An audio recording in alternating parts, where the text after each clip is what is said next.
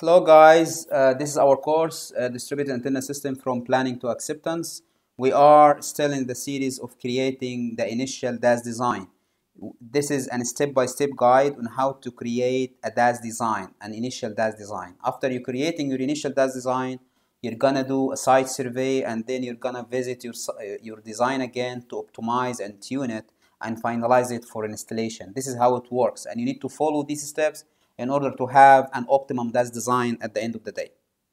Okay, uh, last session we already explained uh, how to connect the components together, how to connect your antennas, splitters, tappers, and then if you have an active uh, DAS or hybrid DAS, you're gonna just insert or, or import your head end that you received from the client in a, a compatible format. This format should be compatible with the planning tool that you're using, whether it's iBwave or it's Ranplan or whatever.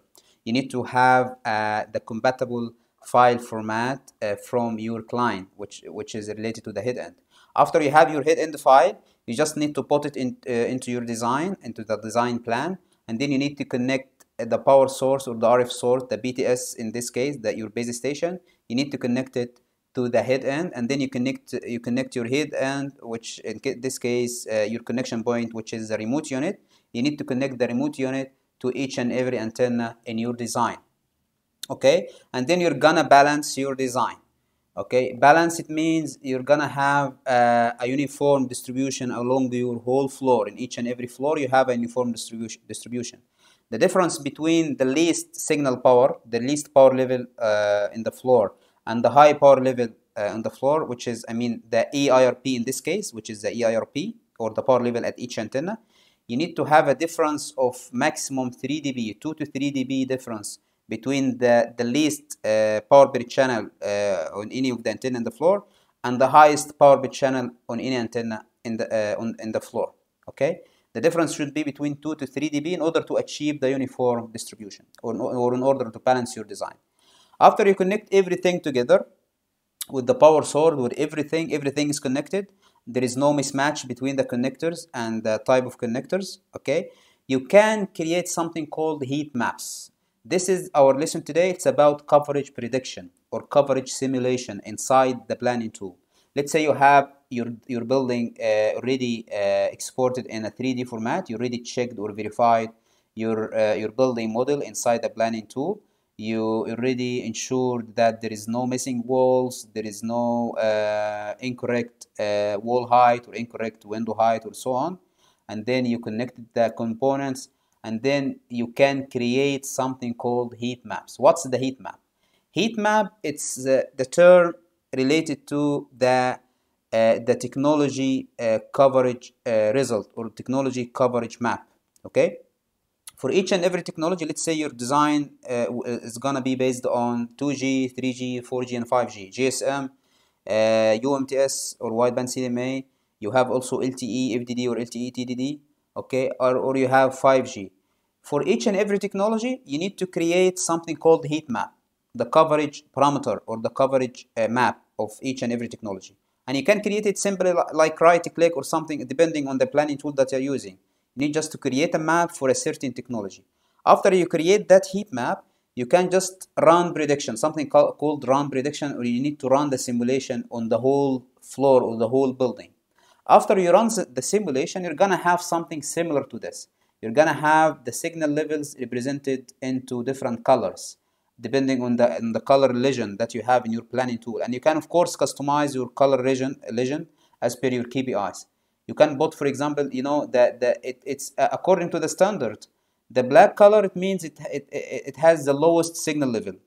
The highest signal level, which is related to the red color or dark red color. This is the highest signal level. This is according to the standard legend. You can, of course, customize the legend. Uh, the orange color, it's less uh, less power than the red the red color or the dark uh, red color. Okay. The green color, it means it's around NIC 70 or NIC 75 dBm which is less than the orange color. And below below the green color there is the blue color. This color this is the light blue. The light blue it's it's lower in signal strength. And then the dark blue it's much lower than the the, the light blue okay? And then the black color which is the lowest signal strength okay? This is how the power legend will look like how the color code will look like in your building uh, every and each color represents a signal a certain signal strength okay which uh, whether it's high or low or highest or lowest okay? And as mentioned in the beginning as an eye-based designer you should have the sense the engineering sense. You need to make sure that these uh, colors are you know logical. It's it's not uh, it's not illogical or, or it doesn't make sense. You need to have it you need to to make sure it makes sense. For example this antenna uh, any place around or nearby this antenna in this area it should be dark red so if you have for example here in this in this pointer in my pointer here if you have this area instead of dark color it's green or it's blue or dark blue it means there is something here blocking the antenna so you need to revisit your uh, 3D model or 3D modeling of your building and you need to make sure there is no missing, there is no extra object here blocking the antenna. There is no metal part or metal object here blocking the antenna. Maybe you have a double wall, maybe whatever. So you need to, everything is like a cycle. It's like a closed loop or like a cycle. You need to, if you have any abnormal uh, or uh, nonsense measurement here or nonsense result, you need to revisit your 3D modeling and you need to correct to, to correct your design. Okay. For example, this antenna, as you can see here, this antenna it's it has a very less or a very low signal. I mean, the signal level, which is the high signal level, which is a dark red, it's very less. I mean, it's it's low. It's not big. It does not have the the you know the bigger circle like this one or like maybe this one. So maybe if you shift the antenna, if you move the antenna from this place a little bit to uh, to this direction or you can move it a little bit to this direction you're gonna have a big circle maybe you're gonna have a big coverage radius or a big coverage circle you got my point the same point sim by similarity this antenna this antenna it has like yellow color around. It should it should have red uh, dark red right? Because it's it's ne the nearest point or the nearest area to the antenna. So it does not make sense to have to to have it does not make sense for the signal strength around the antenna to be yellow. It should be dark red. So maybe there is some blocking here. You can shift the antenna right or left a little bit or here in this direction or the other direction just to make sure that you uh, uh, you have you, you free you, you just you just increase or you just have the proper uh, coverage radius or the proper coverage uh, area for each and every antenna I hope you got my point in this.